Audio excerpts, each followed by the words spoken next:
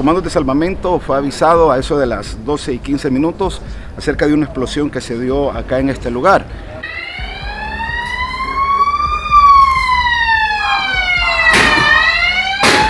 Lo que es las unidades de emergencia, unidades de rescate se hicieron presentes, en lo cual las unidades médicas han trasladado a José Gilberto Reyes y a Santos Padilla a lo que es el Instituto del Seguro Social.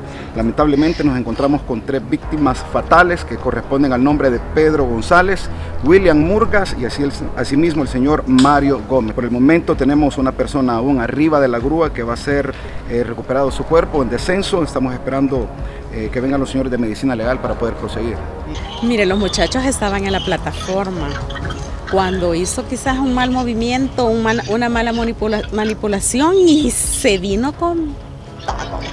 Yo empecé a gritar porque creí que eso me iba a caer encima. Entonces yo estaba en la segunda planta y, la, una vecina de allá vino corriendo y llamó a la policía y yo estaba en shock porque yo creí que eso me iba a caer encima.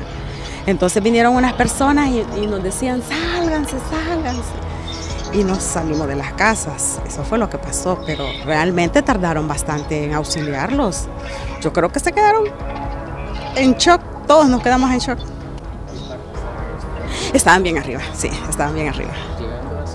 Casi, sí, para mí que para allá iban. ¿Y estaban bien cerca? Sí, bien cerca de la máquina porque cuando ya se estrelló, ya los pedazos venían, ya se había deshecho en toda la estructura.